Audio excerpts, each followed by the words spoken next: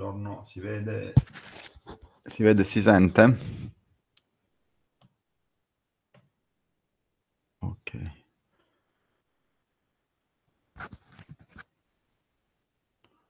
Ah, dunque, mettiamoci la finestrina di là.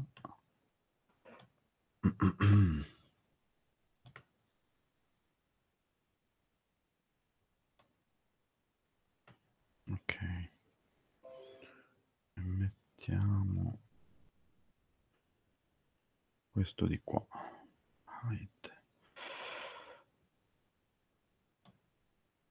Ok, allora eh, dobbiamo finire un esercizio che avevamo com- cominciato a fare l'altra volta.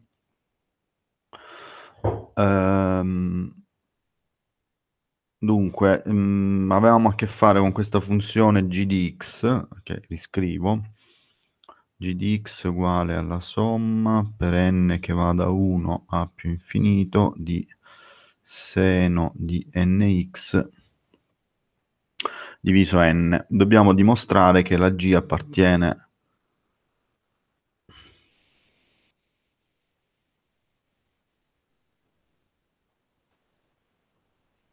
a L2, 2π greco e quindi dimostrare che è una funzione quadrato sommabile e poi farne un prodotto scalare con quell'altra funzione f di, f di x. Allora, per dimostrare che questa funzione è quadrato sommabile, uh, visto che non ha un'espressione analitica che possiamo direttamente integrare, uh, beh, utilizziamo l'uguaglianza di Parseval. Quindi innanzitutto ci scriviamo questa uh, in questa forma, quindi questa sarebbe la somma per n che va da 1 all'infinito di e alla i n x. Uh, mi sa che conviene spezzare prima o spezzo dopo? Vabbè, spezzo dopo. e alla meno i n per x diviso 2i n. Ok? Ora qui mi faccio comparire un radice di 2π greco sopra e sotto, per motivi che saranno chiari tra un po'. E a questo punto questa diventa la somma per n che va da 1 a più infinito di radice di 2π greco e alla i nx eh, diviso radice di 2π greco e qui ho un 2in 2in meno la somma per n che va da 1 a più infinito di radice di 2π greco sempre diviso 2in e poi ho un e alla meno i nx diviso la radice di 2π greco. E dovrei credo aver messo um, tutto. Ok. Sì. Fatemi fare soltanto quest'altro passaggino quindi questa la scrivo come la somma per n che va da 1 a più infinito di radice di 2π greco diviso 2in e alla inx diviso la radice di 2pi greco. E qui ci metto più la somma su n che va da meno 1 a meno infinito di radice di 2pi greco diviso 2in per e alla inx diviso radice di 2pi greco. Dove cos'è che ho fatto qua, cos'è che ho combinato? Ho scritto sostanzialmente n l'ho mandato in meno n e quindi se, se prima rannavo da 1 più infinito, adesso ma, vado da meno 1 a meno infinito e qui questo diventa uh, inx e al denominatore avrei un segno meno che si mangia col segno meno che c'era davanti. Ok? e qui notate che c'è questa struttura in cui ci sono dei coefficienti um, che sono questi qua, che moltiplicano le funzioni del set ortonormale completo delle onde piane che abbiamo individuato l'altra volta. L'altra volta abbiamo detto che se io prendo le unx uguale alla 2πi nx diviso l diviso la radice di l, dove l era b meno a, questo qui risulta essere un set ortonormale completo di funzioni da utilizzare nello spazio L quadro AB. Nel caso specifico A è uguale a 0 e B è uguale a 2π eh, e quindi L è uguale a 2π e quindi ho es- es- esattamente eh, INX uh, come, funzione trigon- come funzione esponenziale e poi una radice di 2π. Quindi effettivamente questo affare qua lo posso scrivere o interpretare come una somma con n appartenente a z, perché n varia da 1 a più infinito e da meno 1 a meno infinito, adesso per n uguale a 0 vediamo che cosa succede, di uh, e alla i nx diviso radice di 2π uh, per dei coefficienti che posso chiamare d con n, dove i coefficienti d con n sono dati da questa cosa qua, è 0 se n è uguale a 0 perché come vedete som- nelle due somme che ho scritto prima non compare uh, lo 0, va da 1 a più infinito e da meno 1 a meno infinito, quindi per n uguale a 0 devo avere 0. Ed è uguale invece a uh, questi coefficienti sono gli stessi, cioè radice di 2π 2in se n appartiene a z privato del punto 0. Ok? A questo punto uh, io so che la norma di g al quadrato da Parseval è uguale alla somma per n su n appartenente a z di d con n modulo quadro, ovvero questa sarebbe eh, la somma, adesso lo scrivo e lo commento tra un po', per n che va da 1 a più infinito, d sarebbe 2π diviso 4n quadro moltiplicato per 2. Uh, eh, perché? Perché quando io faccio il modulo quadro di queste quantità, eh, ovviamente il fatto che n sia positivo o negativo non cambia e quindi avrei sempre comunque uh, cioè, avrei la stessa serie, no? da 1 a più infinito e da meno 1 a meno infinito, quindi per quello ci metto un fattore 2 davanti. E poi ho fatto il modulo quadro, quindi ho un 2π greco diviso 4 e il modulo di che fa 1, quindi a questo punto questo deve essere uguale alla somma per n che va da 1 a più infinito di π greco diviso eh, n quadro, che sappiamo essere convergente perché è proporzionale alla serie che abbiamo fatto l'altra volta, che è il problema di Basilea. Allora, G effettivamente appartiene a L202π. Avendo questa espressione di G e avevamo un'analoga espressione di F, potevamo calcolare anche il prodotto scalare utilizzando il, l'uguaglianza di Parseval generalizzata, quindi Fg, che appunto non saprei calcolare perché non ho come integrale perché non ho un'espressione analitica, Posso però calcolarla utilizzando Parseval generalizzato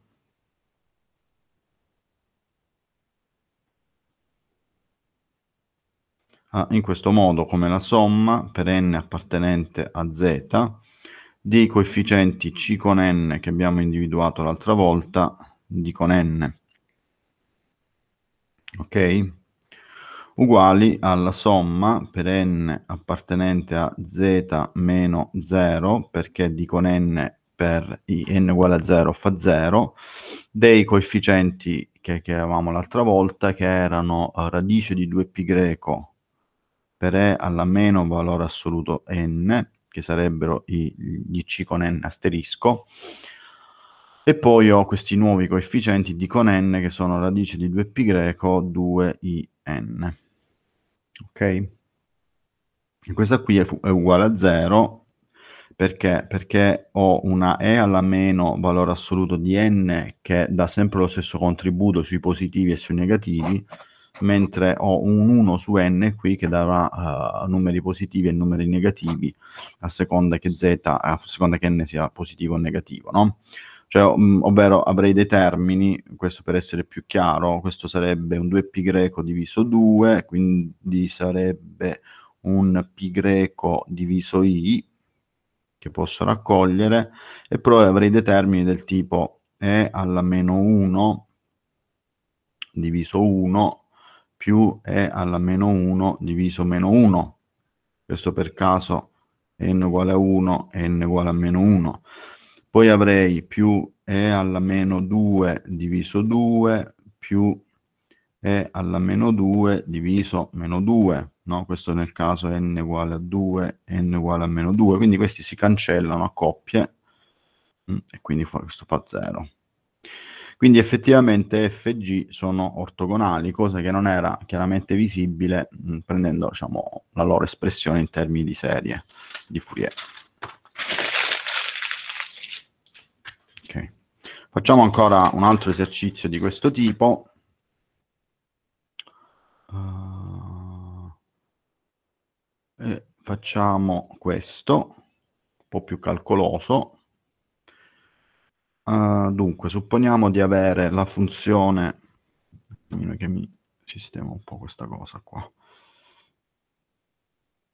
Ok, supponiamo di avere questa funzione qua, um, f di x uguale a e alla a per x con a appartenente ad r, supponiamo di essere eh, nell'intervallo oh, meno pi greco, quindi siamo nello spazio di Hilbert meno L2 meno pi greco, e quello che si dice, si chiede, è di sviluppare in serie di Fourier, base, in particolare sulla base delle funzioni trigonometriche, o sul set meglio, chiamiamolo set, delle funzioni trigonometriche, e calcolare poi la somma di questa serie. Quindi la somma per n che va da 0 a più infinito di meno 1 alla n diviso n quadro più 1 sempre con la tecnica del, eh, eh, delle serie di Fourier. In questo caso non ci sarà neanche bisogno di passare attraverso Parseval. Vabbè, qua siamo, il calcolo si fa in modo algoritmico, quindi cominciamo da alfa 0.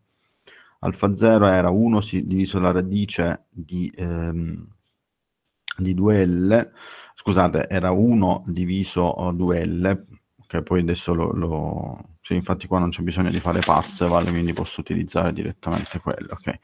Quindi questo era 1 diviso 2L, quindi nel caso specifico è 1 diviso uh, 2π greco, poi ho l'integrale tra meno π greco e π greco di E alla A per x in dx. Ok, questo qui sarebbe uguale a 1 diviso 2π greco A e poi ho un E alla A π greco eh, meno e alla meno a pi greco, moltiplico div e divido per 2 e quindi questo sarebbe un pi greco a seno iperbolico di pi greco a. Diviso pi greco a. E vabbè e questo è fatto. Poi ho alfa con n. Alfa con n erano le proiezioni sui coseni quindi questo è l'integrale 1 su pi greco integrale tra meno pi greco e pi greco di e alla a per x per il coseno di nx in dx, qui avrei il coseno di n pi greco x diviso L, ma L uguale a pi greco e quindi ho il coseno di nx. Questo è uguale a 1 diviso 2 pi greco, integrale tra meno pi greco e pi greco di e alla x che moltiplica a più i per n più e alla uh, um, x che moltiplica a meno in uh, in dx e dovrebbe essere giusto così.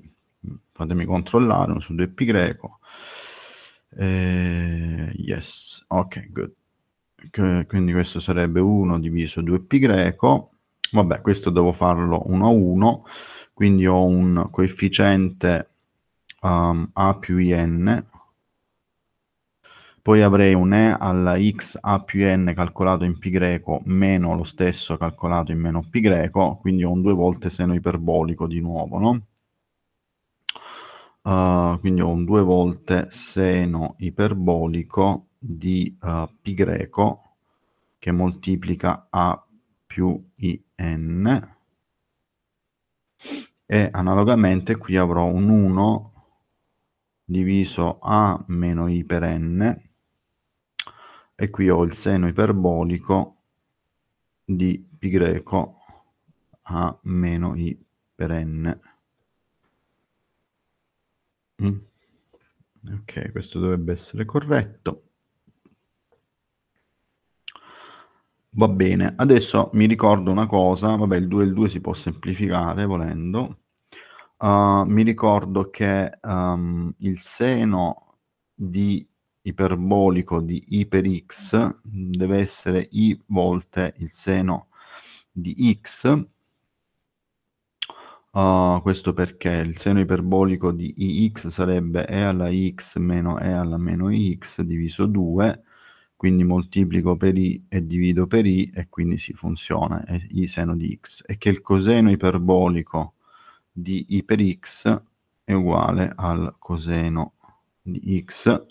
Quindi qui posso applicare questa identità, questo 1 su pi greco, poi avrei un seno iperbolico di pi greco a, che lascio così, seno, quindi applico la regola della somma uh, degli angoli, no? Del, il, il, seno iperbolico di somma di angoli, quindi questo è seno di pi greco a coseno di sarebbe pi greco in, ovvero coseno di pi greco n,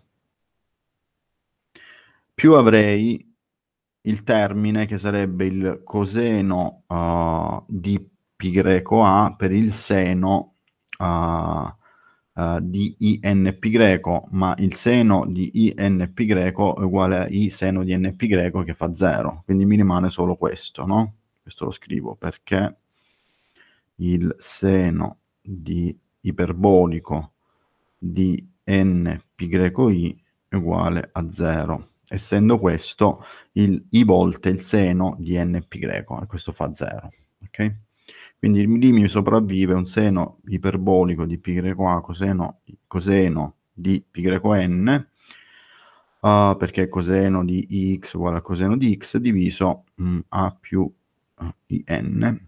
E analogamente dall'altro lato, cioè sull'altro termine, è 1 diviso a meno in, e qui viene la stessa cosa, per parità del coseno. Quindi questo è seno di π greco a coseno di n π greco e questo è quanto. Uguale ancora, uh, vabbè, qui devo fare dei conticini, vabbè, innanzitutto posso raccogliere un seno di π greco a e un coseno di π greco n, quindi viene seno iperbolico di π greco a per il coseno di π greco n che fa meno 1 alla n, uh, poi ho un 1 su π greco, poi ho un questo è, sarebbe a quadro più n quadro, poi ho una più i per n più a meno i per n, quindi in, in se ne va e rimane un 2a. Quindi dovrebbe essere un 2a diviso uh, pi greco per a quadro più n quadro per il seno iperbolico di pi greco a per meno 1 alla n. Vediamo se è vero. Quindi questo è un 2A che ce l'ho, seno di pi, coseno, pi greco. Ok, good. Vabbè, poi mi faccio pazientemente anche l'altro termine. Questo lo buttiamo. Quindi devo calcolare adesso le beta con n uguale sempre a 1 diviso pi e devo cambiare foglio quindi le beta con n è uguale a 1 diviso pi greco integrale tra meno pi greco e pi greco di e alla ax seno di nx in dx. Vabbè, funziona tutto esattamente come prima. quindi è 1 diviso 2 pi greco i volte, questa volta perché c'è un seno di mezzo, uh, poi ho l'integrale tra meno pi greco e pi greco di e alla x per a più in uh, meno l'integrale tra meno pi greco e pi greco di e alla x a meno i per n. Uh, vediamo se ho messo tutto. E alla x a meno i n, 2pi greco i, vabbè. Adesso, vabbè, questo funziona esattamente nello stesso modo di prima. Uh, e quindi arrivo a dire che uh, vabbè, questo è 1 diviso 2πi, poi avrei qui un, um, un seno iperbolico, seno iperbolico di π greco A come prima per il coseno di nπ greco, uh, questo per 2, quindi il 2 si mangia, diviso uh, a in, mm, mm, mm, quindi questo è 1 su π greco i, seno iperbolico, ok, poi c'è la differenza che c'è il meno qua, e qui ho un seno iperbolico di AP greco per il coseno di np greco diviso a meno i per n e qui c'era un 2 che si mangia col 2 mm. ok vabbè quindi questo viene 1 diviso π greco i poi ci, ci abbiamo il termine a quadro n quadro poi abbiamo il seno iperbolico di π greco a per meno 1 alla n, che è il coseno di np greco, e poi avrei un a meno in meno a meno in, ovvero meno 2in, quindi meno 2i per n. Ok. Quindi chiaramente il P, la, la i se ne va e mi rimane un segno meno. Quindi diciamo raccogliendo tutto adesso ho calcolato anche i, i beta con n, la f di x è uguale ad alfa 0, no? quindi sarebbe il seno iperbolico di π greco a diviso pi greco a più la somma per n che va da 1 a più infinito, qui avrei alfa con n coseno di n pi greco, ovvero 2a seno iperbolico di pi greco a diviso pi greco per a quadro più n quadro per meno 1 alla n coseno di nx ok poi avrei un meno 2n diviso π greco a quadro più n quadro poi ho il seno iperbolico di nuovo di π greco a ho il meno 1 alla n e poi ho il seno di nx. Ok? Questa è tutta nella serie. Vediamo se ho messo tutto, eh? Mm, seno di nx e lì un coseno. Ok. Quindi tutto questo oggetto deve essere uguale ad f di x, ovvero è alla a per x è lo sviluppo in serie sul set trigonometrico dell'esponenziale nell'intervallo uh, meno π π. Ok? Uh, dove vi ricordo che la convergenza di questa serie di funzioni alla funzione alla x è da, è da intendersi sempre come una convergenza in norma L2. Adesso se voglio calcolare la somma di quella serie che si era detta all'inizio, pongo a uguale a 1 perché avevo nel denominatore n quadro più 1 e pongo x uguale a 0.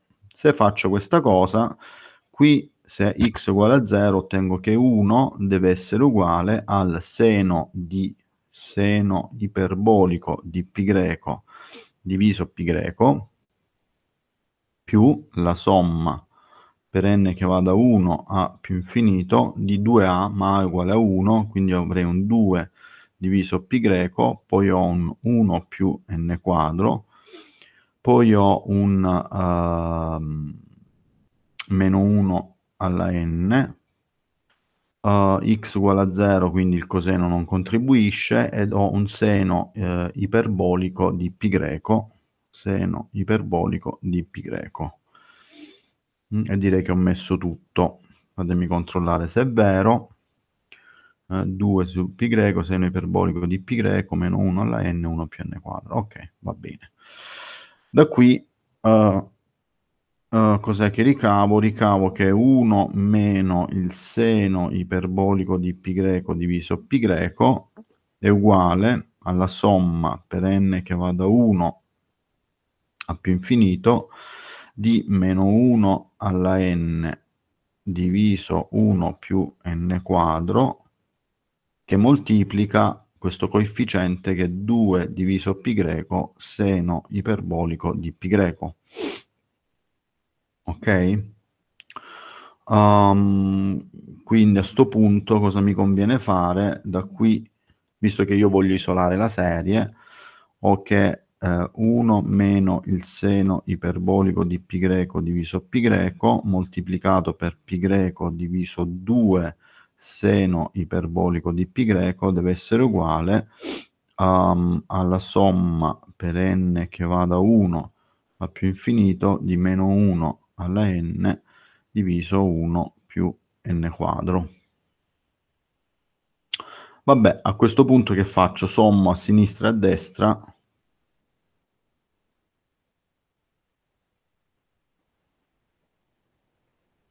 1 e cambiando pagina trovo che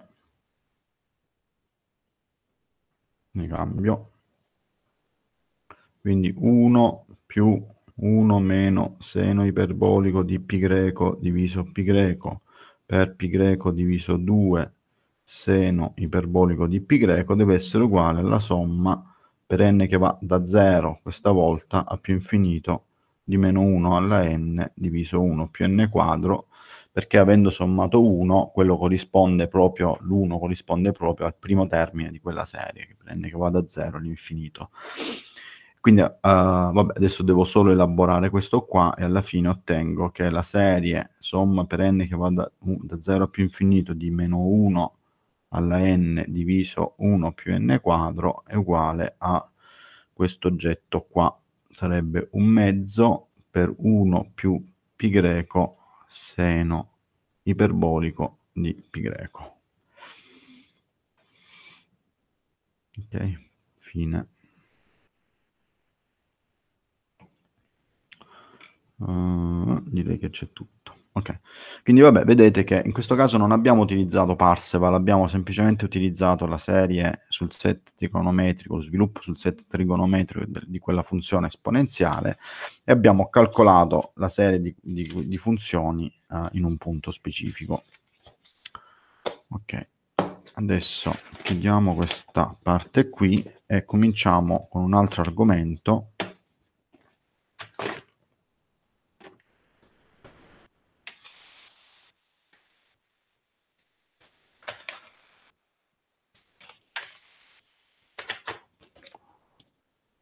Mm, questo lo metto qua.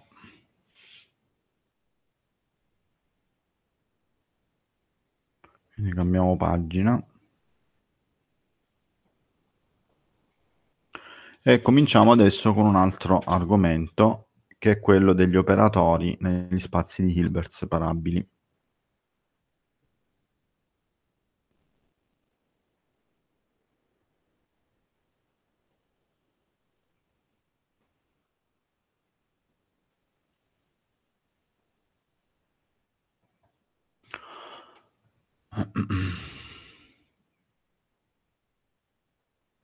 Ora, la dicitura, in questo caso spazi di Hilbert separabili, è per ricordarci che noi interessano quelli. Poi quello che sto per dire sugli operatori in realtà vale, vale anche per gli spazi, uh, uh, vale anche per degli spazi di Banach non è necessario di avere una norma indotta da prodotto scalare, non è necessario di avere quindi uno spazio di Hilbert separabile, però a noi interessano quelli e quindi ci concentriamo su quelli perché poi a un certo punto interverranno uh, queste ipotesi di spazio di Hilbert, quindi di prodotto scalare e di, um, e di um,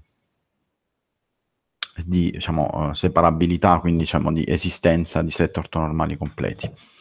Allora, come nel caso finito dimensionale, nel caso finito dimensionale un operatore, vabbè, qua lo devo scrivere lineare, questo non me lo devo dimenticare, mm, che si sono operatori lineari, come nello spazio eh, di finito dimensionale, un operatore lineare che cos'è? Un oggetto, un'applicazione da un certo spazio vettoriale ad un altro spazio vettoriale che ad ogni vettore dello spazio di partenza associa un altro vettore dello spazio di partenza ed è lineare. Quindi è, lineare significa che l'operatore applicato a una combinazione lineare uguale alla combinazione lineare degli operatori applicato a, applicati ai singoli vettori. Cioè, per essere più speci- specifico, nel caso nostro, un operatore lineare è un'applicazione da H in H, inutile che stiamo a dire uh, che andiamo in un altro spazio, mm, concentriamoci sugli operatori definiti su H e che vanno in H stesso, e operatore lineare. Se diciamo presi diciamo due generici vettori x e y appartenenti ad h e alfa beta appartenenti a c. Quando io prendo l'operatore e lo applico ad alfa x più beta y quindi alla combinazione lineare questo uguale alfa tx uh, più uh, beta uh, ty. Ok?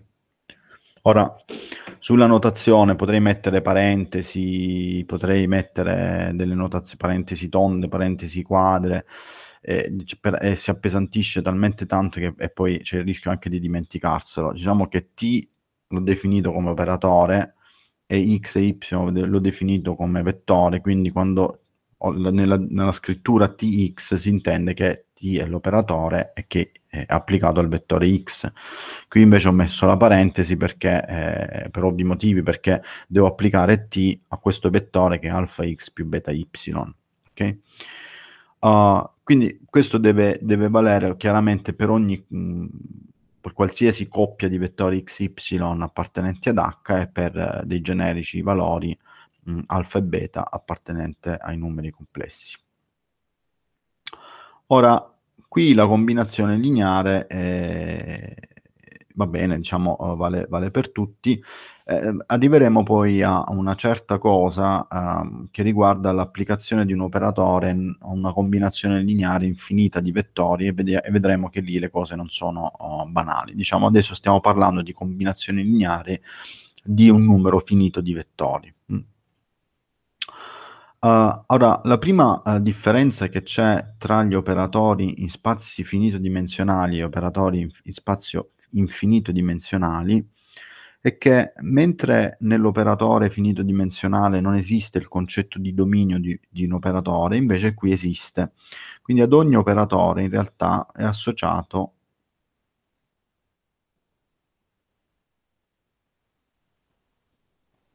un dominio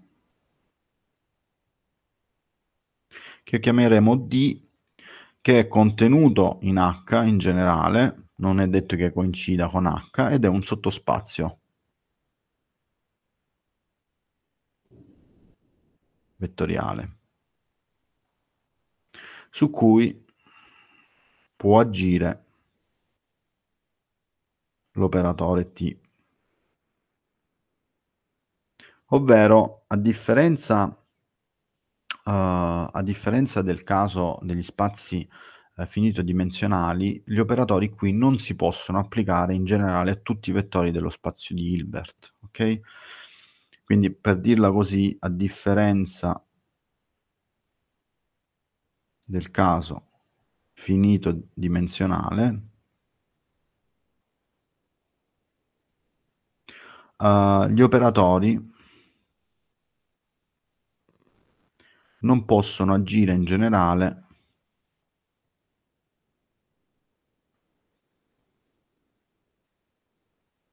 su tutti i vettori dello spazio H.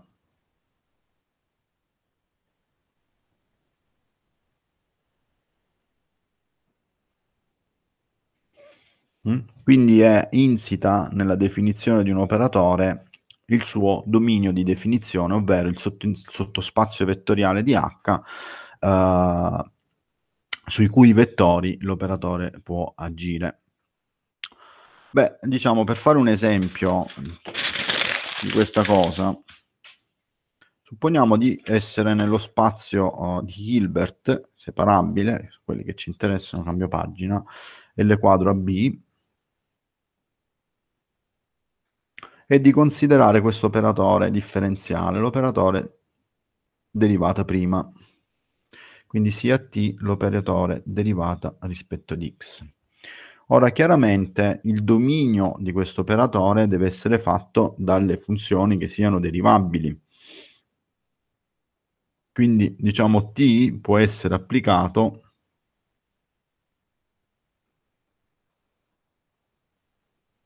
alle funzioni derivabili in AB e tali che uh, T applicato ad F appartiene ancora a L quadro AB.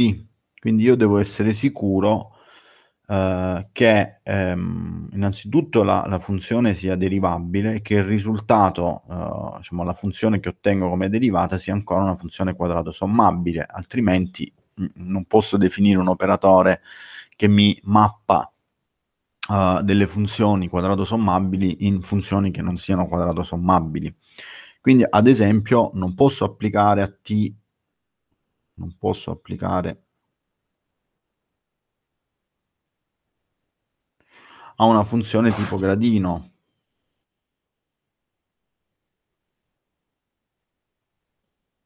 Quindi che ha una discontinuità, ad esempio la funzione gradino, questa così che abbiamo pure sviluppato in serie no? Perché nel punto x uguale a 0, eh, lì diciamo quella è discontinua, la derivata cioè non è, vabbè, sarebbe infinita se volete, ok?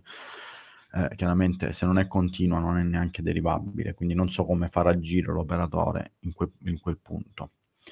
Ma anche una funzione del tipo uh, f di x uguale a radice di x eh, dà problemi, quindi supponiamo di essere, ad esempio, qui sto facendo degli esempi, eh, in L quadro 0 uh, b, prendiamo la funzione f di x uguale alla radice di x, questa f di x appartiene ad L quadro 0b, perché? Perché la norma di f al quadrato sarebbe l'integrale tra 0 e b di 1 su...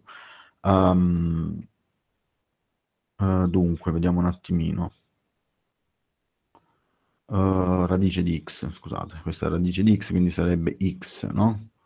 Sarebbe x in dx che sicuramente è minore di più infinito, quindi effettivamente questa è una funzione quadrato sommabile uh, in, uh, L qua, cioè in, in 0b, quindi appartiene ad L quadro 0b, perché la norma sarebbe proprio l'integrale tra 0 e b di x in dx, che chiaramente è finito, ma se io vado a calcolare la derivata prima, la f' di x, questo è 1 diviso la radice di 2x, e se io vado a calcolare poi la norma di f' al quadrato, questa sarebbe l'integrale tra 0 e b di 1 diviso 4 x in dx, e questo non converge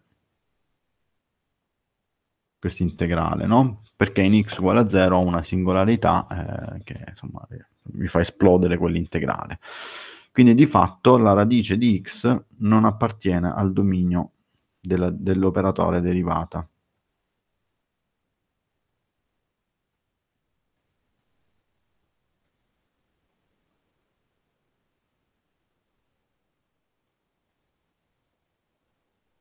Mm?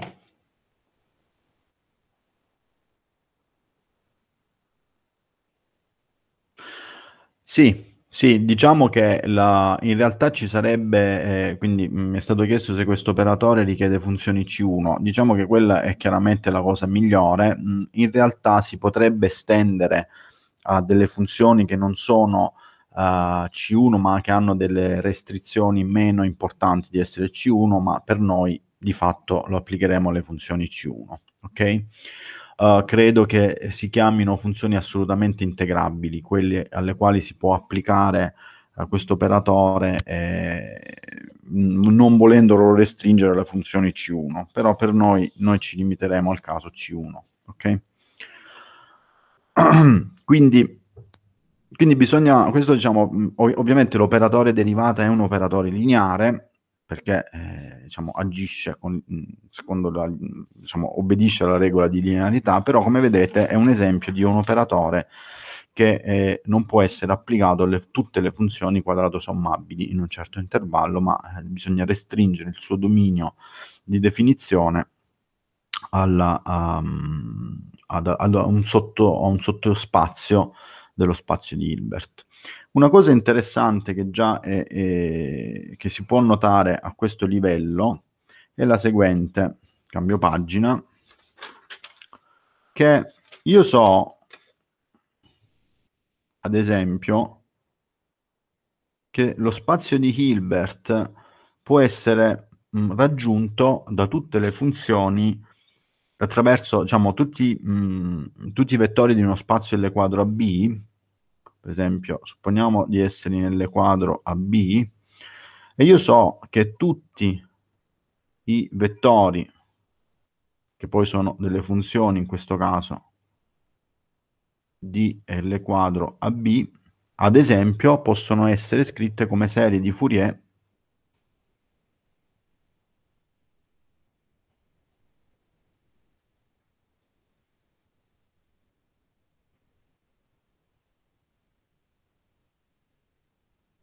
utilizzando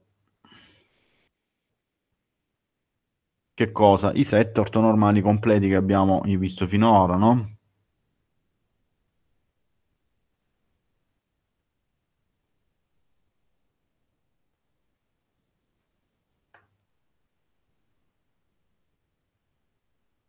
Quali abbiamo visto? Il set delle funzioni trigonometriche, Poi abbiamo visto il set delle onde piane. Poi abbiamo visto, uh, anche se l'abbiamo solo, diciamo, visto come si costruisce, il set dei polinomi di Legendre.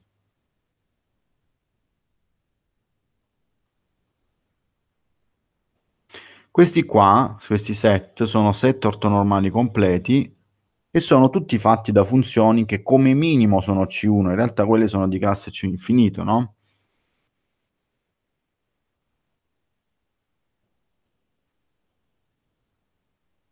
Perché sono infinitamente derivabili. Uh, queste funzioni di classe C infinito, quindi chiaramente a queste funzioni io posso applicare l'operatore derivata. Hm? A queste funzioni, o meglio, diciamola così, queste funzioni appartengono al dominio D dell'operatore derivata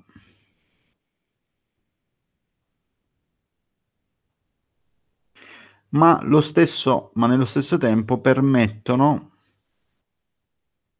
attraverso le serie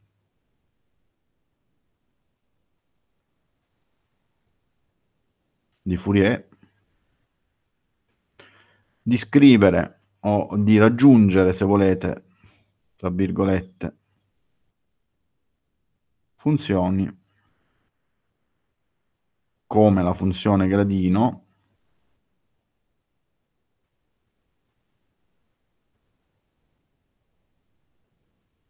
che invece non appartengono a D. Perché? Perché ovviamente io con questo set ortonormale completo posso generare tutti gli elementi dello spazio di Hilbert e loro, st- le stesse funzioni sono appartenenti al dominio, ma posso costruire delle serie di queste funzioni che mi vanno a bucare il dominio di definizione dell'operatore. Questo significa che in generale l'operatore non commuta con le serie, ok? T non commuta in generale con le serie. Perché io posso applicare T ai vettori di un set ortonormale completo con tranquillità, ma non è detto che io poi lo possa applicare alla serie che ho ottenuto attraverso una decomposizione su un set ortonormale completo. Questa è una particolarità degli spazi infinito-dimensionali che ovviamente non esisteva negli spazi finito-dimensionali perché, come ho detto prima, un operatore negli spazi finito-dimensionali lo posso applicare a tutti, quindi a tutti i vettori nello spazio finito-dimensionale T può essere applicato a tutti i vettori.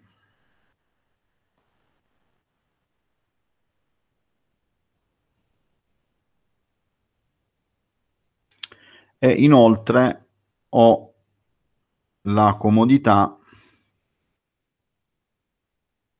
della rappresentazione matriciale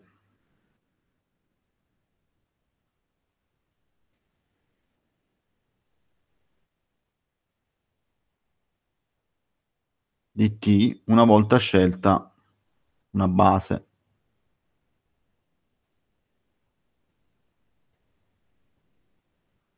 Perché io scelgo una base, so che con quella base posso generare tutti gli elementi dello spazio vettoriale e il mio vettore ha una rappresentazione matriciale su quella base, no? Quindi io prendo questa bella matrice e la applico a tutti gli operatori.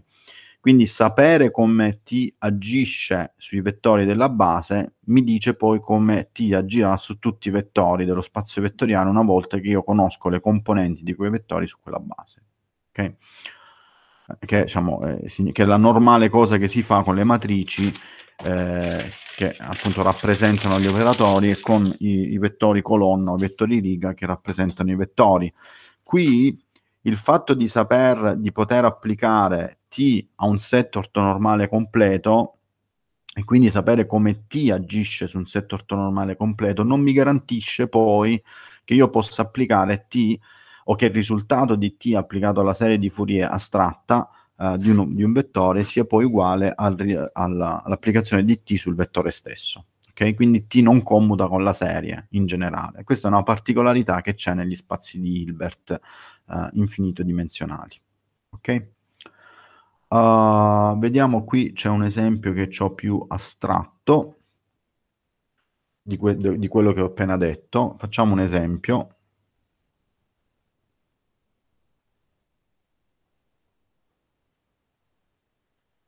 Supponiamo di avere lo spazio di Hilbert L2, quindi lo spazio delle successioni quadrato sommabili, sia E con n un set ONC, un set ortonormale completo, e sia l'operatore T che agisce sui vettori del set ortonormale completo per definizione nel seguente modo.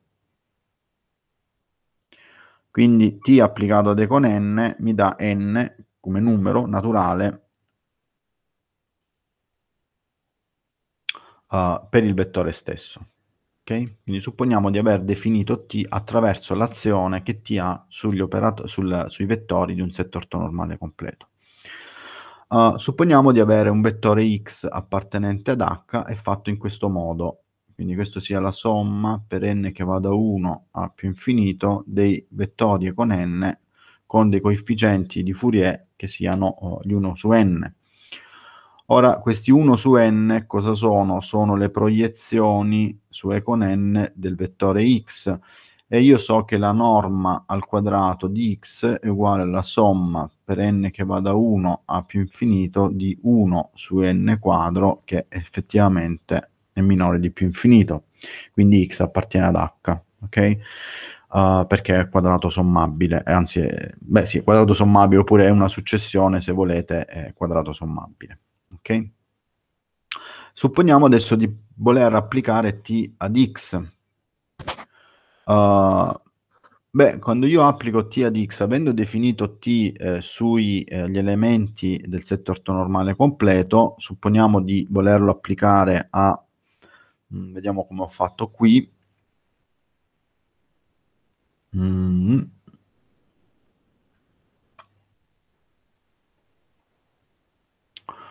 definiamo prima questa cosa, sia xk, la somma per i che va da 1 a k di e con i diviso e i, quindi che sarebbe, se volete, la somma parziale ennesima della serie di Fourier di x.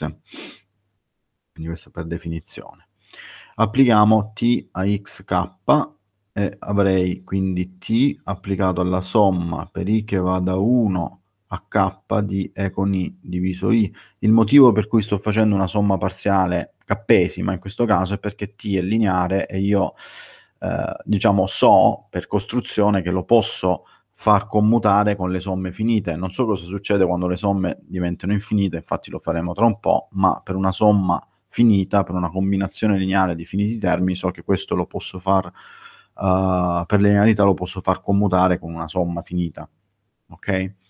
Quindi questa è la somma per i che va da 1 a k di t applicato e con i diviso i, uguale ancora la somma per i che va da 1 a k quando t agisce su e con i, per la regola che ho scritto sopra, mi dà proprio i e con i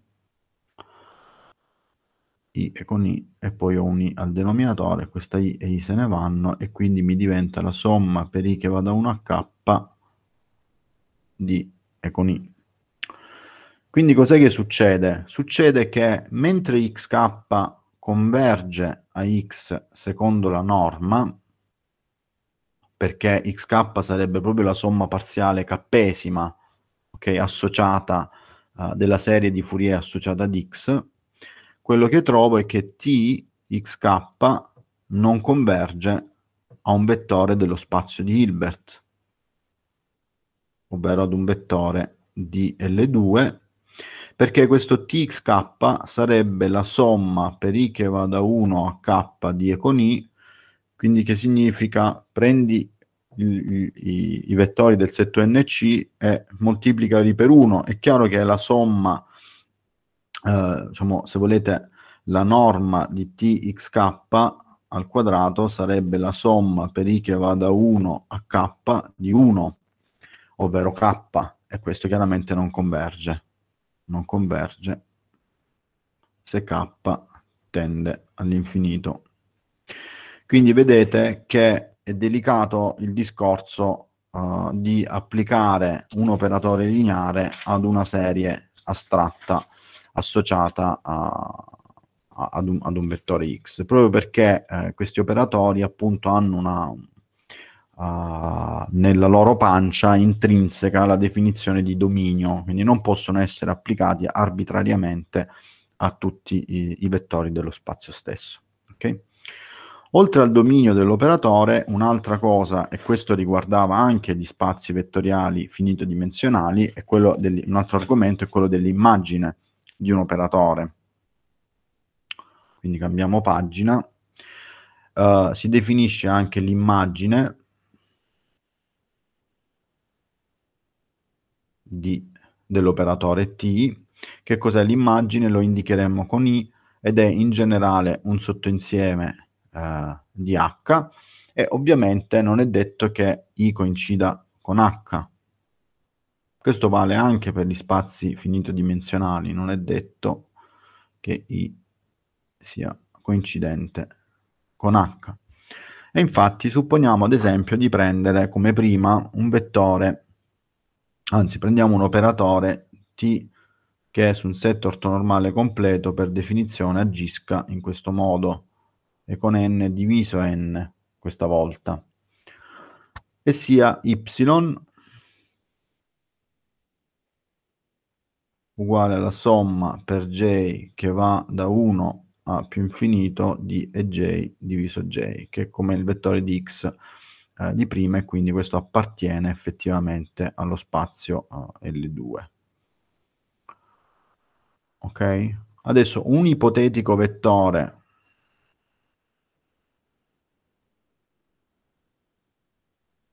x tale che t applicato ad x sia uguale ad y dovrebbe essere fatto così.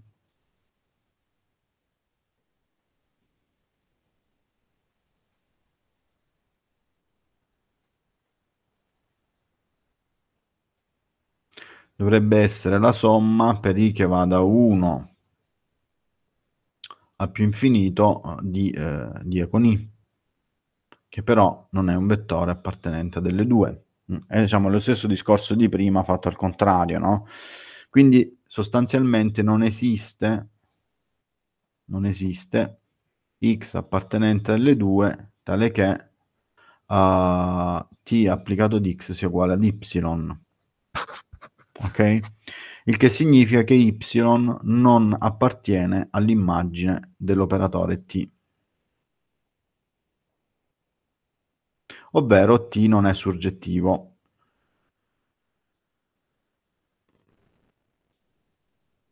Questo non ci scandalizza troppo perché anche nel caso finito di dimensionale c'erano degli operatori che non erano surgettivi. questo non ci scandalizza troppo. La cosa interessante qui è che eh, gli operatori invece eh, hanno un dominio, quindi non possono essere applicati in generale a tutti i vettori dello spazio vettoriale.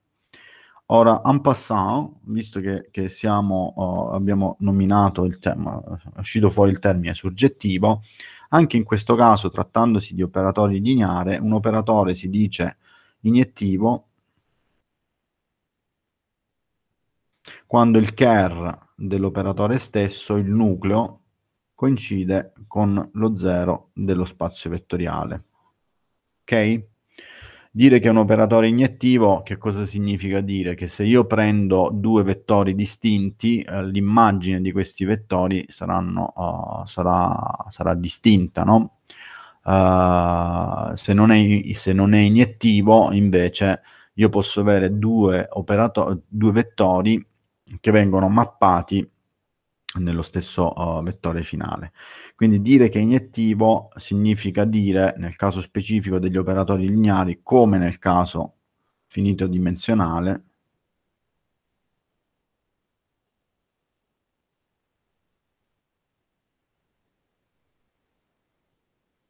che l'unico eh, elemento appartenente al nucleo dell'operatore è lo zero dello spazio vettoriale. Ok? Come come nel caso uh, finito dimensionale.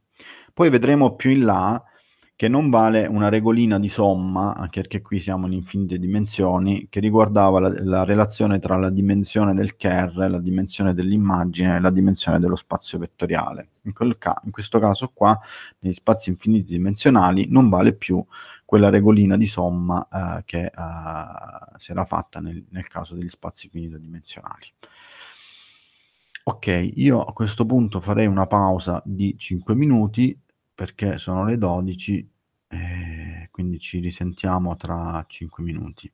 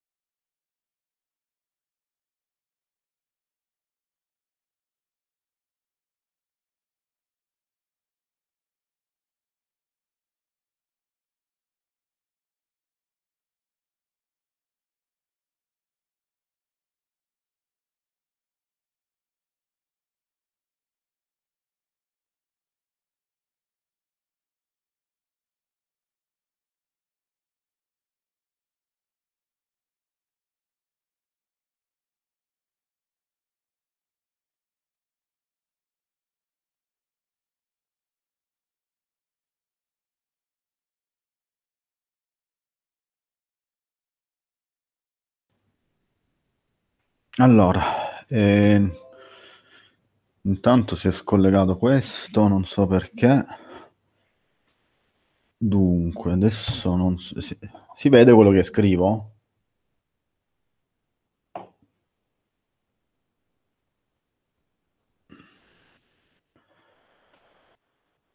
Ok, eh, un attimo che c'è una domanda. Dunque dici, eh, i vettori si possono scrivere, ma non tutte le combinazioni dei vettori del set danno vettori, eh, non tutte le combinazioni? Beh, questo, questo, è vero in generale a prescindere dagli operatori, nel senso che se tu prendi un set ortonormale completo e ci metti dei coefficienti a casaccio, quello lì in generale non è un vettore. I coefficienti che devi mettere sono quelli corrispondenti a una successione quadrato sommabile, no? Quindi tu puoi combinare gli elementi di, del set ONC con dei coefficienti complessi eh, che siano uh, elementi di una successione appartenente alle due. In quel caso sì, mm, infatti sono uh, isomorfi? Mm? cioè gli spazi di Hilbert sono isomorfi a L piccolo 2. Non so se ho chiarito la, la domanda, se la mia risposta è stata chiara.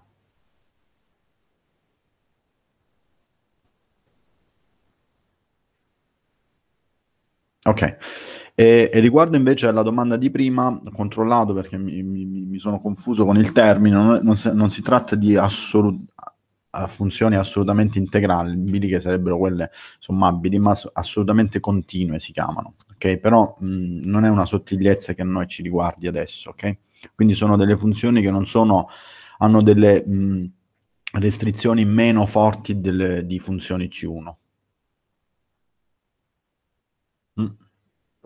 Per chi fosse interessato, uh, questa parte c'è sul libro di Zaffaroni eh, e gli altri, c'è, questa, diciamo, c'è un su questo, però insomma è una sottigliezza che non ci interessa.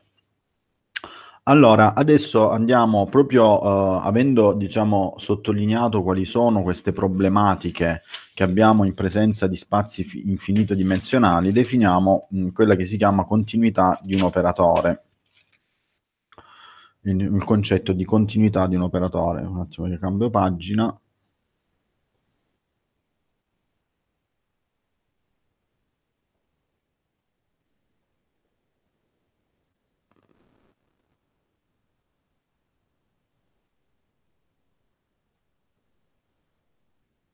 Stiamo sempre parlando di operatori lineari, spazi di Hilbert separabili, ok?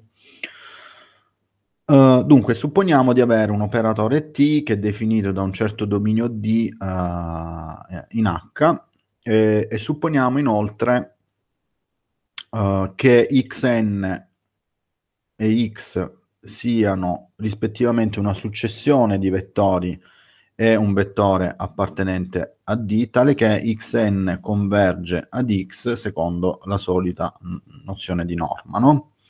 Eh, questo significa che per ogni epsilon maggiore di 0 esiste n barra appartenente ad L, tale che per ogni n maggiore di n barra xn meno x norma è minore di epsilon. Quindi abbiamo una successione di elementi di D, quindi appartenenti al dominio, che converge ad x appartenente essa stessa al dominio. Allora si dice che t è continuo in x, posso buttare.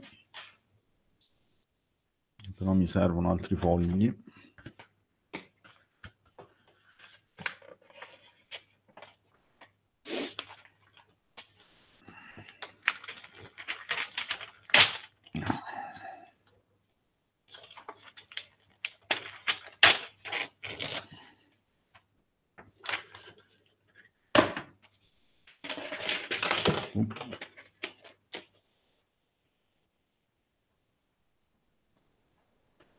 Eh, dov'è che stiamo? Stiamo qua. Allora, um, T è continuo, abbiamo detto T è continuo in X se, com, se commuta con il limite, ovvero se il limite per n che tende a più infinito di t applicato ad x con n è uguale al a t applicato al limite per n che tende all'infinito di x con n, quindi è un'operazione di commutazione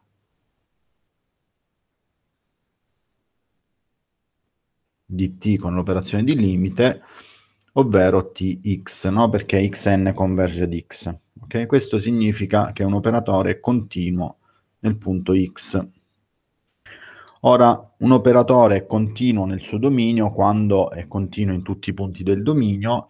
In realtà basta verificare, per, per dire che un operatore è continuo nel suo dominio, basta verificare che è continuo in un punto, cioè basta che t sia continuo ad esempio nel punto 0. Se t è continuo eh, sul punto 0v, sul vettore 0v è continuo in tutti i punti del dominio, in tutti i vettori, se volete, tutti i vettori del dominio. Perché? Questo per linearità, no? Ovvero, se io prendo una successione, dire che t è continuo uh, sullo zero dello spazio vettoriale significa dire che se x con n converge a 0v in norma, t applicato a x con n eh, converge a t applicato a 0v che è necessariamente 0v. Ovvio che per un operatore lineare l'immagine dello zero dello spazio vettoriale è sempre 0. Ok? Um, Ehm, cosa che stavo dicendo? Ah sì, quindi se questo, questo diciamo significa dire che t è continuo uh, in, in, sullo zero dello spazio vettoriale, a questo punto se io ho una successione yn che converge ad y, posso prendere una successione z con n definita come yn meno y, questa z con n converge allo zero dello spazio vettoriale in norma. E quindi la t è continua, è continuo uh, di nuovo diciamo, su, su 0v, no? Uh, e continua in, eh, scusate, in y, perché se io applico t a z con n, avrei che t z con n uguale a t di 0v e quindi ho la continuità, uh, di nuovo ho la continuità in 0v, mh, mm, che si traduce nella continuità in y. Okay? Questo per linearità. Quindi quando io uh, dico che un operatore è continuo uh, in un punto dello spazio uh, del suo dominio, in realtà questo basta che verifico che continuo ad esempio sullo 0 e se, se continuo sullo 0 sarà continuo dappertutto perché posso riscalare tutte le successioni in modo da, no, da ritornare sempre al punto 0 e applicare la linearità dell'operatore.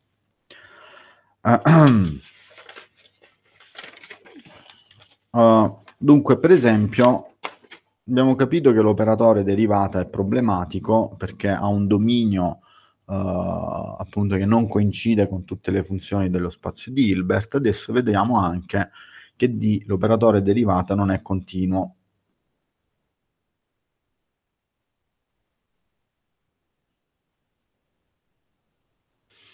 Ah, come si fa a vedere? Si prende un, un controesempio, no? Quindi si fa così, supponiamo di prendere una successione di funzioni f con n di x uguale al seno di nx diviso n.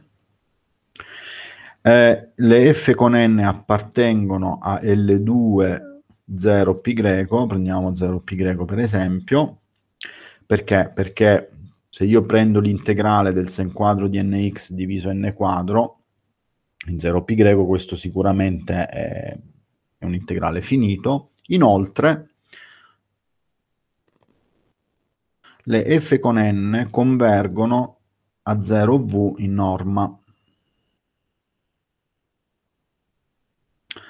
Perché? Perché se io prendo la norma di seno di nx diviso n, lasciatemi prendere la norma al quadrato in modo da non avere radici di mezzo, questo significa che cosa? Fare 1 su n quadro per l'integrale tra 0 e π greco del seno al quadrato di nx in dx e questo è uguale, se uno fa i conti, a π greco mezzi.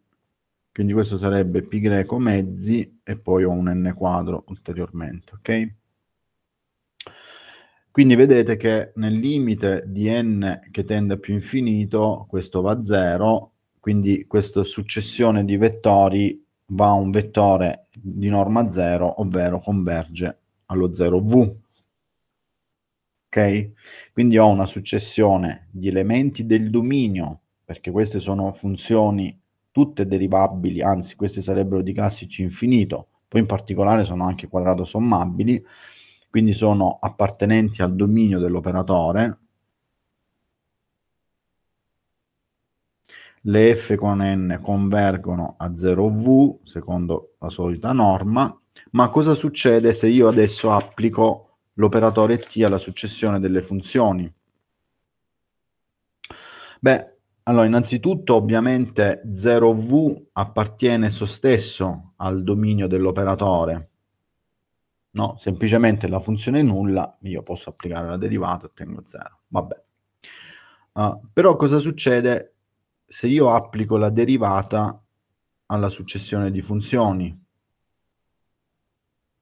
La derivata questa volta sarà il coseno di nx e se io prendo la norma del coseno di nx... Eh, prof, non, non ho cambiato pagina. pagina. Non ho cambiato pagina. Ok, grazie, eh. scusate. Troppo. Eh. Mi sono ancora abituato e poi venerdì uno arriva un po' stanco. Uh, allora, ricapitoliamo, visto che non ho cambiato pagina, abbiamo detto che f con n appartengono a delle 2, 0, cos'era, 0 pi greco, le f con n appartengono al dominio dell'operatore t, le f con n convergono a 0v, secondo la norma, Ovviamente 0V appartiene esso stesso a D, uh, perché diciamo lo 0, eh, altrimenti non avrei un sottospazio vettoriale, no? cioè lo 0 è sempre, uh, è sempre diciamo, l'elemento neutro deve essere sempre presente eh, nei domini. Um, che stavo dicendo? Ah, sì, adesso se io prendo l'operatore derivata rispetto di x e lo applico alla fn di x, ottengo un coseno di nx e se io vado a calcolare il coseno di nx in norma al quadrata, ottengo di nuovo π greco 4 mezzi, che chiaramente non converge a 0 per n che tende all'infinito. Quindi, come vedete, um, come vedete, appunto, la derivata di x non commuta con il limite.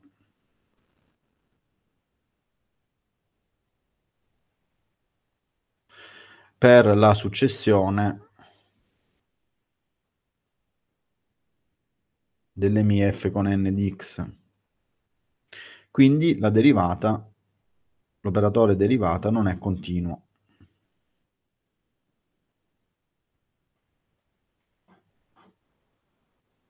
Ok? Quindi ho preso una successione che converge a 0. La successione, quindi 0 e gli elementi della successione sono elementi del dominio, ma se io calcolo uh, t applicato allo 0v ottengo chiaramente 0v, ma se applico t invece agli elementi de- della successione ottengo delle funzioni ottengo delle funzioni, eh, diciamo, coseno di, di n di x, che sono sempre delle funzioni quadrato sommabili, ma che non convergono allo zero dello spazio vettoriale, ok? Quindi se io prendo t e lo applico al limite per n che tende a più infinito delle f con n di x, è diverso da prendere il limite per n che tende a più infinito delle t applicato alle fn di x, ok? Questo significa che non è continuo, ovvero che l'operazione di limite non commuta ovvero che l'operatore non commuta con l'operazione di limite. Allora, la continuità è una uh, proprietà importante di questi operatori perché se io invece ho un operatore continuo so che di sicuro posso invertire limiti eh, con, con l'operatore stesso e quindi in particolare posso convertire serie nell'operatore stesso. Quindi se t è continuo, e io posso scrivere x come serie di Fourier astratta no? Con, attraverso un set di vettori eh, ONC, uh, quello che uno fa è scrivere la xk, che è la somma parziale ennesima, di A con I e con I, dove gli A con I sono le proiezioni su E con I di X, e se T è continuo, quando io prendo Txk, io so che Txk converge a Tx, ok? In norma, se T è continuo. In altri termini, quando io prendo Tx lo posso di fatto commutare con l'operazione di serie e scrivere che t di x uguale a t applicato a e con i.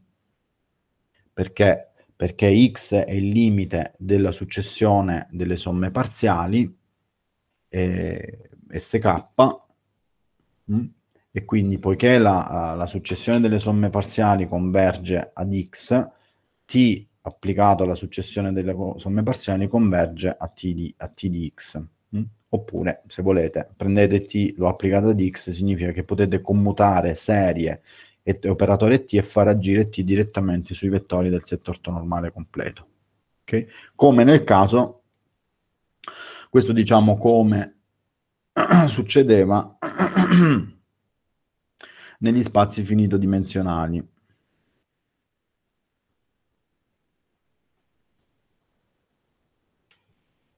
Ok?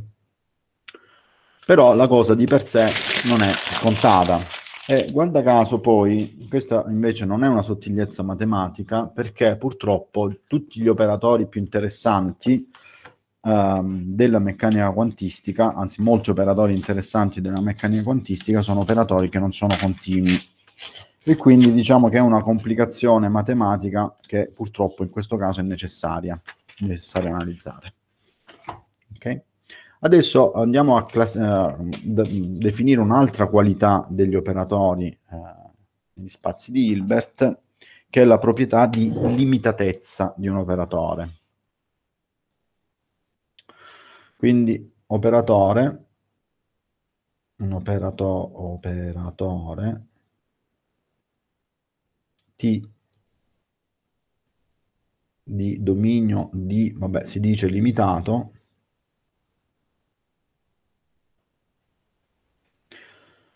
se per ogni x appartenente al dominio risulta che l'operazione tx norma diviso norma di x è limitata. Oppure,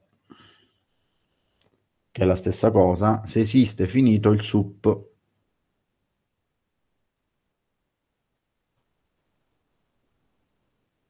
il sup con x appartenente a D di norma di t di x diviso norma di x. Ok? Questo sup, se esiste finito, si, eh, diciamo, si chiama proprio norma dell'operatore per definizione e lo si indica con il simbolo T. Mm? Norma dell'operatore.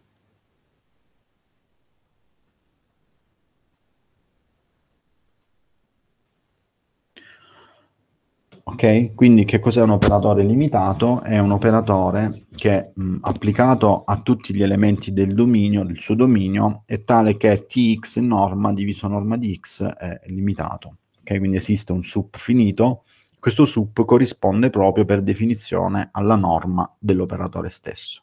Ok? Di nuovo, prendiamoci un operatore, eh, esem- esempio di operatori, eh, anche in questo caso gli operatori interessanti spesso non sono limitati. Quindi il solito derivata rispetto ad x non è neanche limitato. Uh, perché mh, supponiamo di prendere una successione fatta in questo modo, fn di x uguale a seno di nx, e supponiamo di prendere lo spazio L quadro 0 pi greco, O, ovviamente queste f con n appartengono a L2 0π greco, su questo non c'è dubbio, le f con n appartengono al dominio dell'operatore, perché sono tutte funzioni di classe C infinito, sono dei seni. Uh, però che cos'è che succede? Che eh, se io prendo l'operatore t e lo applico al seno di nx, questo qui che cos'è? È eh, ovviamente la derivata rispetto ad x del seno di nx uguale a n coseno di nx. Quindi se io prendo adesso la norma, la norma di t applicato a f con n e divido per la norma dell'f con n, questa sarebbe la norma di n coseno di x, coseno di nx, diviso la norma di seno di nx, uguale ancora a n per 1, perché la norma del coseno di nx diviso la norma del seno di nx sono uguali, se provate a verificarlo.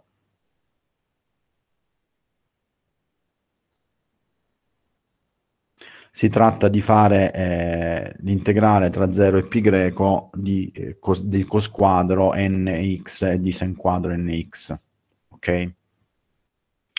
Uh, e quelle lì, diciamo, sono, sono uguali. Beh, in realtà sono sempre pi greco mezzi, che abbiamo fatto prima. Quindi, come vedete, cos'è che succede? Succede che t applicato a fn in norma diviso norma di fn uguale ad n e quindi questo non è limitato. Perché posso far tendere n all'infinito e quindi quella norma, quel rapporto di norme esplode. Ok? Quindi significa che d su dx non è limitato. Perché se io costrui, posso costruire uh, delle successioni, in questo caso di funzioni, tale che poi il risultato uh, diciamo, dell'operazione tx di, uh, in norma diviso norma di x è un numero n che chiaramente non è limitato. No? Se faccio esplodere n, eh, non ho un sup finito. un esempio invece di un operatore limitato, e come lo introduciamo adesso e poi insomma, lo vedremo altre volte, sempre negli spazi funzionali è questo qua, l'operatore posizione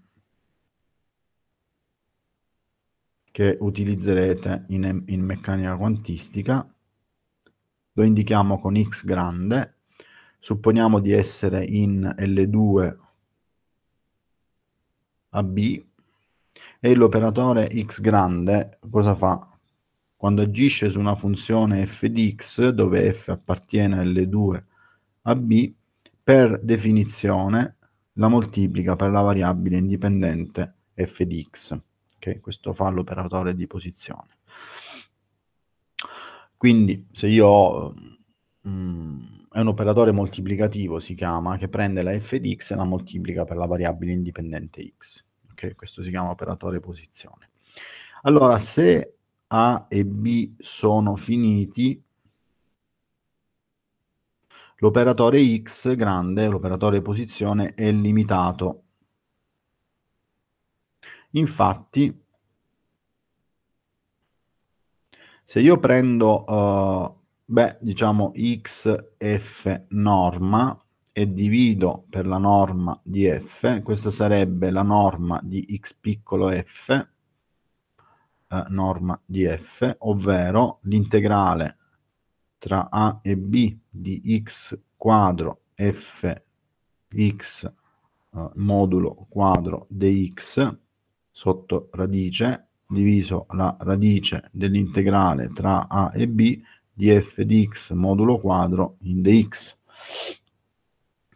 Adesso posso maggiorare l'integrando in questo modo. Prendo il massimo, vabbè lo scrivo e poi lo commento, quindi questo è minore uguale alla radice del massimo tra A tra valore assoluto di B e valore assoluto di A al quadrato per l'integrale tra a e b di f di x modulo quadro di x diviso la radice dell'integrale tra a e b di f di x modulo quadro di x, dove cos'è che sto facendo? Sto, sto maggiorando, quindi lo scrivo qua, ho maggiorato la funzione x quadro col suo massimo. No? Perché la funzione x quadro è una, è una parabola mh, a seconda del valore, eh, eh, quindi sarà massimizzata tra il valore più grande tra A e B. Ok? Se, se B è più grande di A, necessariamente x quadro sarà minore su tutto AB di B quadro. E analogamente se A è maggiore di B in valore assoluto, uh, uh, no, sarà più grande, diciamo, la funzione sarà maggiorata tra, da, da A quadro. No? Supponiamo che questa sia questa è la parabola, no? Supponiamo che questo sia A e questo sia, sia B, in questo caso B in valore assoluto l'ho, pre- l'ho, preso più grande di A, quindi chiaramente la funzione in A e B è maggiorata da, uh, da B quadro. Ok? Um, vabbè, a questo punto il massimo lo posso portare fuori e le norme si semplificano e quindi questo è uguale al massimo uh, tra valore assoluto di B e valore assoluto uh, di A, che ovviamente è finito e quindi x f norma diviso norma di f è limitato. Ok, quindi questo operatore è limitato almeno nel caso in cui A e B siano finiti, non è limitato, questo lo possiamo già dire, non è limitato se A o B o entrambi sono tendenti all'infinito, quindi sono infiniti. Ah, in quel caso ah, non, ho, oh, non, non ho un operatore limitato.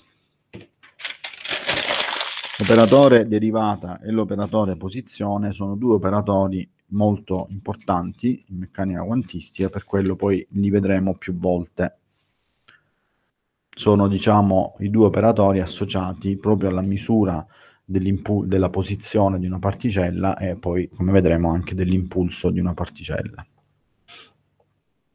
Allora vale un teoremino che adesso dimostriamo eh, e poi forse finiamo qui per oggi che dice la seguente cosa un operatore è continuo se e soltanto se è limitato.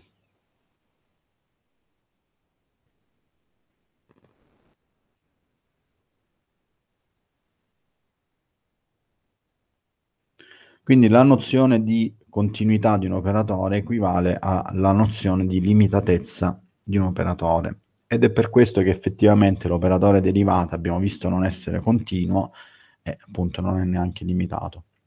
Questo teoremino rappresenta un criterio, se volete, per uh, andare a, a, verificare che un operatore sia continuo, perché verificare la continuità di un operatore non è banalissimo, perché io devo dimostrare che tutte le successioni uh, convergenti a 0 V uh, sono tali per cui il limite uh, e l'operatore stesso conver- eh, commutino, mentre verificare la limitatezza è, è più semplice.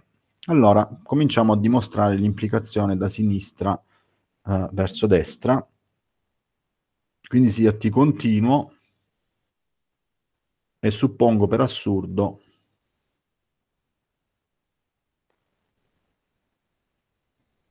che non sia limitato.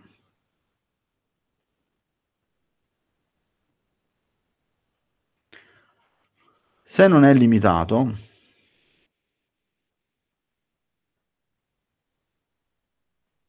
posso trovare una successione.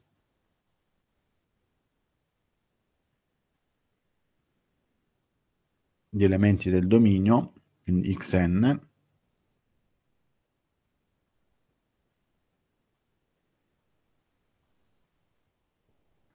tale che t applicato ad xn in norma diviso la norma di xn è maggiore di n. Pensate ad esempio all'esempio che abbiamo fatto prima, pensate alle funzioni uh, seno di nx erano e poi alla funzione dell'operatore t che era l'operatore derivata rispetto ad x, no? Eh, questa qui, se io facevo la norma di eh, t seno di nx diviso norma di seno di nx, ottenevo n. Quindi chiaramente eh, io posso sempre trovare, se l'operatore non è limitato, una successione di funzioni che mi fa quel giochino lì. Lì chiaramente basterebbe mettere seno di 2nx eh, eh e, e avrei verificato questa, questa, questa ipotesi, no? questa costruzione. Mm? L'importante, adesso qui diciamo è arbitrario mettere n, io potrei mettere anche n quadro, potrei mettere n alla quinta, qualcosa che esploda per n che tende all'infinito, ok? Il fatto di mettere maggiore di n è del tutto arbitrario, potrei mettere anche n mezzi, questo vale per qualsiasi successione che diverge all'infinito, eh? qualsiasi successione di numeri naturali non limitata. Ok, si prende n per comodità, per una comodità che adesso vedremo. Uh, e questo diciamo vale per ogni n appartenente ad n, no? Quindi se t eh, se non è limitato, io posso trovare una successione, l'esempio che ho fatto prima, seno di nx, tale che t applicato x con n diviso norma di x con n è maggiore di n per ogni n appartenente ad n. Adesso sia yn definita in questo modo. Per definizione sia xn diviso n per la norma di xn allora questa successione converge in norma 0. La yn converge a 0v secondo la norma dello spazio vettoriale, perché quando calcolo la norma di yn, che cosa ottengo? Ottengo la norma di x con n diviso n e norma di xn, questo e questo si semplifica, uguale a 1 su n e questo va a 0 quando n tende a più infinito. Quindi yn converge a 0v. Se io però applico t ad yn, che cosa succede? t applicato ad yn sarebbe t applicato a, a xn e diviso poi n norma di xn, che sono dei numeri e posso portare fuori dal segno di, um, dal segno di, di operatore, no? per linearità. Oh, ma cos'è che succede qui? Che se io mi prendo questa equazione, io vedo che la norma di t applicato a xn diviso n norma di xn è maggiore di 1. Ok? Prendendo quella. Quindi significa che se io prendo la norma di questo oggetto, questa è necessariamente maggiore di 1, perché quello che ho qui è esattamente quello che ho scritto sopra. Ovvero t applicato a yn in norma è un numero maggiore di, di 1 per ogni n naturale, e allora t, con n, t applicato a yn non converge a 0v nel limite di n che tende all'infinito. Ok? Mentre yn converge a 0v. Quindi significa che l'operatore non è continuo. E questo è un assurdo. Lo scrivo qua. Quindi io avrei scritto che yn converge a 0v nel limite di n che tende all'infinito, ma T-yn non converge a 0v nel limite di n che tende all'infinito. E questo uh, chiaramente significa che t non è continuo.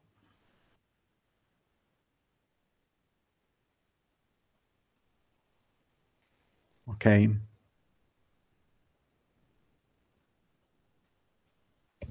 Ora, una cosa che forse non è, non è evidente, ma mm, forse sì, non lo so, che un, per un operatore lineare vale sempre la cosa che lo 0V appartiene al dominio dell'operatore e T applicato a 0, 0V è uguale a 0V. Questo vale per un operatore lineare.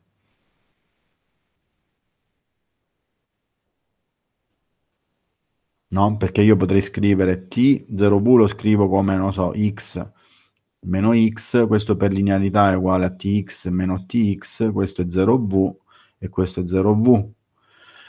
Quindi t applicato a 0v è sempre 0v. Quindi in questo caso specifico cos'è che è successo? Che ho una successione che converge a 0v di y con n, t applicato ad y con n non converge a 0v. Ok? Il che significa che eh, d'altro canto so che t applicato a 0v deve essere per forza 0v. Ok? Quindi t non commuta non commuta col limite, allora t non è continuo.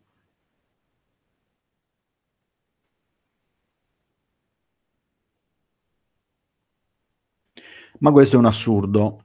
È un assurdo perché avevo preso per ipotesi la continuità. Avevo preso per ipotesi la continuità e sono arrivato a negare la mia ipotesi. Quindi allora ti deve essere limitato. Ovvero l'aver negato la tesi, quindi aver ipotizzato che T non fosse limitato, mi ha fatto negare anche l'ipotesi e queste eh, sono le classiche dimostrazioni per assurdo.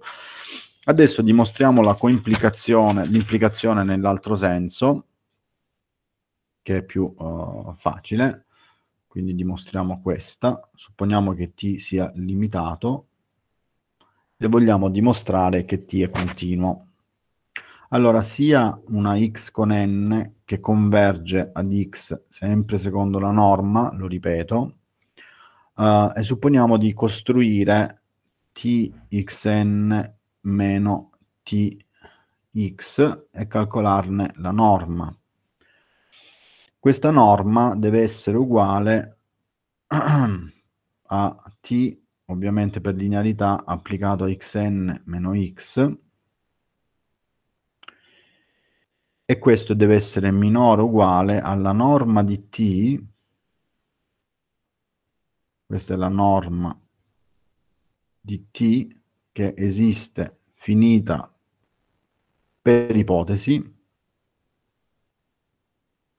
moltiplicata per la norma di xn meno x. Perché questa maggiorazione? Perché la norma di t, che cos'è che era? Era il sup con x appartenente a d di tx norma diviso x. Ok, questa era la norma di un operatore. Quindi è chiaro che se io ho l'operatore t applicato a un certo vettore, quello è minore o uguale alla norma dell'operatore per la norma del vettore stesso, no?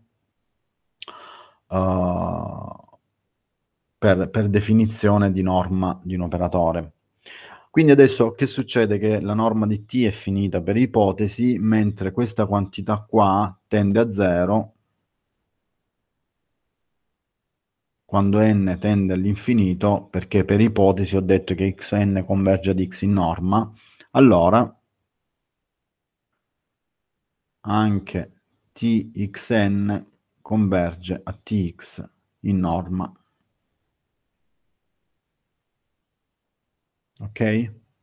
Ovvero l'operatore t è continuo. Cambio pagina.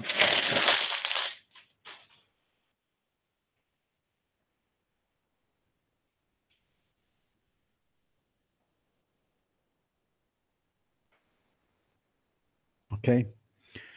Quindi continuità e limitatezza sono la stessa cosa ed è in generale più facile verificare che un operatore è limitato rispetto a che verificare che un operatore è continuo.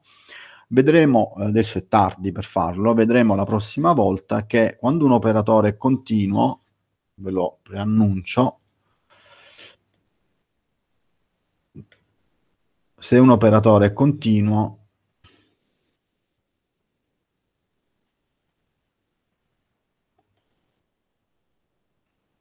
di fatto il suo dominio coincide con tutto lo spazio di Hilbert. Mm.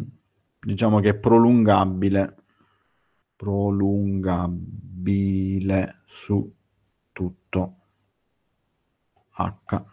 Quindi per un operatore continuo in realtà vale quello che valeva per gli operatori lineari in, in, in spazi vettoriali infinitodimensionali, ovvero il fatto che possano essere applicati a tutti i vettori dello spazio stesso.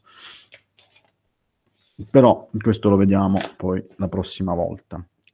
Quindi direi di chiudere qui. Eh, buon fine settimana.